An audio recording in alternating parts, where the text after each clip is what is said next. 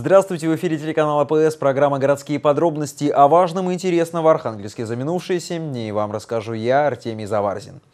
В этом году начнется реализация масштабного совместного проекта правительства региона и мэрии Архангельска «Строительство набережной Георгия Седова» в Соломбальском округе. Вопрос о строительстве набережной Виктор Павленко ставил перед областным руководством еще в 2012 году. О том, что дело сдвинется с места, стало известно в ходе рабочей поездки Игоря Орлова и Виктора Павленко по памятным местам областного центра.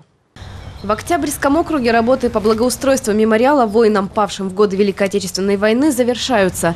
На территории самого большого в Архангельске воинского захоронения на Вологодском кладбище покоится прах 1260 бойцов. Внесено 867 фамилий, которые подтверждено. И одну фамилию должны нанести мы Тимина у памятника воинам-судоремонтникам, погибшим в годы войны, пройдут основные праздничные мероприятия соломбальцев. Покраска памятника завершается. Территория монумента благоустроена силами активистов молодежных организаций Соломбалы. Скоро здесь появятся цветочные клумбы. И тем не менее мэр Архангельска Виктор Павленко заострил внимание на эстетическом виде памятника.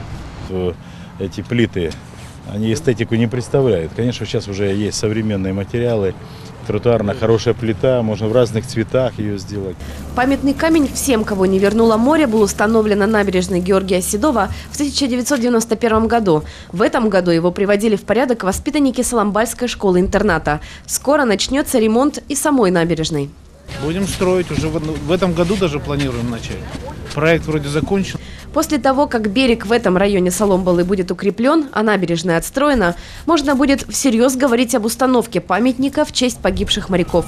Проведен конкурс, э, есть проект, отобран этими ветеранами, советом ветеранов, там Совет ветеранов Северо-морского пароходства. Просьба была, и вроде проектанты учли, чтобы камень не оставил. Стоимость проекта по ремонту набережной Георгия Седова составит 580 миллионов рублей. Здесь начнется строительство новой набережной. Ой, хорошо, вот, хорошо. Набережную надо делать. Да, да набережная Седова. Да, раньше мы ходили, да, тогда шторм-то был такой, вот все разрушил. Все будет берег. красиво. Да, и так, и так, так хорошо, все равно, все равно река такая, и все да, так и тянет сюда. Да, а зимой вообще вон ходим на, на Хабарку. У монумента Победы на площади Мира запланировано кронирование аварийных деревьев. Кроме того, специалисты Горгаза очистят от гари звезду, чашу и горелку вечного огня. Архангельск хранит память, и с каждым годом этих символов нашей благодарности и уважения к подвигу народа, победившего фашизм, становится больше. Накануне 7 мая мы будем открывать в сквере Победы на Чумара Лучинского новый памятник. Э, и здесь вот напротив 30 августа, посвященный Северным конвоям, начнется э, строительство, не капитальный ремонт, а строительство набережной Седова от гидромета, э, вот и дальше туда до СМЗ практически. И в рамках этого проекта будет построен памятник вместо закладного камня всем, кому не вернуло море. Вот поэтому эта работа будет продолжаться и это не сиюминутное мероприятие. Вот, а в дальнейшем мы будем работать над памятниками новыми и строить новые, ремонтировать, потому что это память. В рамках акции «Чистый обелиск» во всех округах продолжается работа по ремонту мемориалов и благоустройству территорий вокруг них. По распоряжению мэра Виктора Павленко восстановительные работы будут завершены к 6 мая. Все 42 памятника Великой Отечественной войны в Архангельске будут надлежащим образом подготовлены к празднованию Дня Победы. Наказу героев верны. Так называется общероссийский патриотический форум, который откроется 5 мая в Москве. Его участники – делегации городов воинской славы России. Важным моментом съезда станет передача гильз с землей, которыми представители делегации обменяются друг с другом. Накануне в Архангельске полноправным участники форума также готовились к этой церемонии. В 1942 году в результате фашистского налета здесь, на улице Поморской, было уничтожено несколько жилых домов. Погибли люди, а весной 43-го архангелогородцы разбили на этом месте сквер, назвав его именем Победы. Потому было решено, земля для гильз, которые отправятся в города воинской славы, будет взята из этого архангельского парка. Над наполнением гильз скрупулезно трудились активисты молодежного совета Архангельска. Участие в этой акции для меня это значит дать дань памяти всем воевавшим в этой войне. И мой дедушка тоже воевал войне, это очень важно для моей семьи. Быть причастным к великому подвигу важно для каждого, кто пришел к стелле Архангельск, город воинской славы, в день, когда 70 лет назад над поверженным Рейхстагом было выдружено Знамя Победы. В торжественной обстановке гильзы с землей из сквера Победы передаются архангелогородцам, тем, кто поедет в Москву на патриотический форум «Наказу героев верны». Ну и, конечно, большая ответственность представить как бы город, ехать вместе в составе с мэром. Ну это очень как бы почетно. Дорогие товарищи, это ведь почетно, все-таки это знаменательно для молодежи, что это все не забывается, все эти наши памятные дни и дни вооруженного столкновения, наши победы, это все будет воспроизведено для молодежи. Представители 45 городов воинской славы обменяются капсулами землей 5 мая на Поклонной горе и доставят их в свои города. От имени архангелогородцев почетную миссию исполнят ветераны Великой Отечественной войны, молодежь Поморской столицы и мэр Архангельска Виктор Павленко. Вот присвоение городу воинской славы пять лет назад, оно действительно всколыхнуло и сплотило архангелогородцев вокруг вот этой идеи патриотизма. И вот в это трудное время, когда неонацизм, фашизм поднимает голову и прежде всего затягивает в эти страшные сети молодежь, нам ни в коем случае не надо допустить э, вот этой ватканалии. Думаю, что ребята, воспитанные духе патриотизма, э, этого никогда не позволят. Наши ребята настоящие патриоты э, своего города, своей России. А в сквере Победы скоро появится новый памятник жителям военного Архангельска. Его торжественное открытие состоится 7 мая. Накануне 70-летия Великой Победы распоряжение мэра Архангельска Виктора Павленко пяти архангельским образовательным учреждениям присвоены имена героев Советского Союза и участников Великой Отечественной войны. Какие школы и почему удостоены такой чести, знает Инга Швецова. Свой подвиг, за который Павел Усов был удостоен звания Героя Советского Союза, наш земляк совершил при форсировании реки Тайпан-Йоки. Память об этом событии бережно хранят в ДЮСШ номер 2, где Павел Усов работал директором. Виктор Павленко вручил постановление о присвоении школе имени Героя. Я думаю, что вот на примере э, Павла Васильевича, потому что спорт, в общем-то, закалка спортивная ему помогла именно выполнить это труднейшее боевое задание. Память о неуловимом катернике и величайшем морском снайпере Александре Осиповиче Шабалине навсегда войдет в летопись 50-й школы Архангельска. В ней ведется большая исследовательская, творческая и поисковая работа по увековечиванию памяти героя войны. Нас переполняет чувство гордости, чувство радости, но и огромной ответственности перед э, потомками. Фронтовик Василий Филиппов был уникальным педагогом. Учить грамоте начал еще в 18 лет. Был первым директором школы номер два. Именно заслуженный учитель РСФСР Филиппов создал здесь хор, который теперь перерос в музыкальную школу «Гармония». Но для бывших коллег и выпускников он до сих пор остается любимым и лучшим учителем.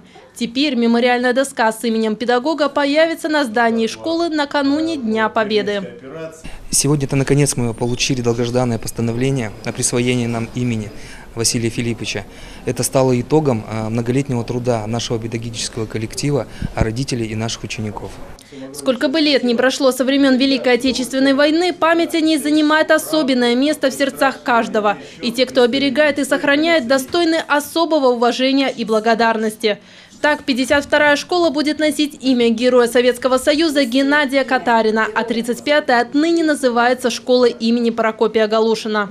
Нужно нам сохранить э, правду о Великой Отечественной войне, подвиг наших э, ветеранов, э, которые отстояли там честь и независимость нашей Родины и вообще спасли весь мир от нацизма. И сегодня в современных условиях, условиях там непростых отношений на Украине, это еще больше проявляется. Поэтому воспитывать настоящих патриотов России на примере наших героев, это очень важная составляющая военно-патриотической работы. На зданиях школ, получивших имена героев, будут установлены мемориальные доски. Первую из них в честь дважды Героя Советского Союза Александра Шабалина откроют уже 7 мая в 13.30 в школе номер 50. Целый спектр вопросов от ликвидации и разрытия незаконных свалок до ледохода обсудили участники еженедельного совещания в мэрии Архангельска. Первая тема – ледоход на Северной Двине. Уровни воды были низкими, опасений движения льда не вызывало. Зато другой вопрос – уборка сухой травы требует пристального внимания глав округов. Как отметил мэр Виктор Павленко, риск возникновения пожаров необходимо свести к нулю. Отпала травы, конечно, может быть страшное дело. Сараи, бесхоз, вот эти заброшенные у нас дома. Пока в городе Архангельске пала травы нет. Но э, обращаю внимание, под персональной ответственностью наших глав Виктор Павленко также заострил внимание на ответственности энергетиков за восстановление территории, оказавшейся разрытой после проведения работ. по устранению всех разрытий, особенно как, где это касается ну, газонов тоже, но где касается асфальта и так далее, где, может быть, уже закрытые ордера, но просело, давайте вместе все-таки устранять. График есть, График. составлен, подписан, за его, скажем так, исполнение следим. На совещании шла речь о готовности специалистов в сфере ЖКХ безаварийно провести майские праздники. Задача номер один, еще раз говорю, на контроль, гидранты все проверить. У нас тем более есть э, план дислокации, где, чего, какой расход. Все это у нас научно обосновано. Так, что по пожарным водоемам, что по гидрантам. Так вот эту э, ситуацию держать на контроле. В завершении совещания были подведены первые итоги двухмесячника по уборке города. За последние две недели с улицы Архангельска вывезено более 400 тонн мусора. Очередной субботник состоится 29 апреля. Уборка города прошла и на этой неделе. 29 апреля состоялась общегородская санитарная среда. Рабочий день не стал помехой. Активность северян была, как всегда, на высоте. Уборкой города в санитарную среду занялись несколько тысяч архангелогородцев, работников коммунальных служб и сотрудников структурных подразделений мэрии Архангельска. Для того, чтобы собрать и вывести мусор, к работе было привлечено 50 единиц техники. Я хочу, чтобы наш город был чистым, Здесь живут наши дети, и поэтому чтобы они ходили здесь, видели, что вокруг чистота, порядок. Созидательная и организационная сила субботников доказана их почти вековой историей. И по сей день активистам не жаль ни времени, ни сил на доброе дело. Ведь они не просто выполняют полезную работу, но и подают пример подрастающим поколениям. Проведение субботников – очень важное мероприятие.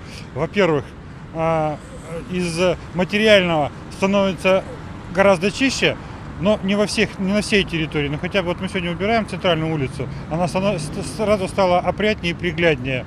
Из э, морального это те, кто участвует, уже стесняется или ну, просто не имеет морального права бросить окурок на чистую поверхность. В этом году стимул как можно скорее очистить город от зимнего мусора особенно силен. Впереди не только майские праздники, но и 70-летие Великой Победы. Внести свой вклад в подготовку архангельских улиц к этому дню может каждый горожанин. В администрации округов добровольцев обеспечат всем инвентарем, необходимым для работы. Такой была эта неделя в Архангельске. Я, Артемий Заварзин, прощаюсь с вами до следующего воскресенья с пожеланиями всего самого доброго и с наступающим праздником 70-летия Великой Победы. Всего доброго, до встречи.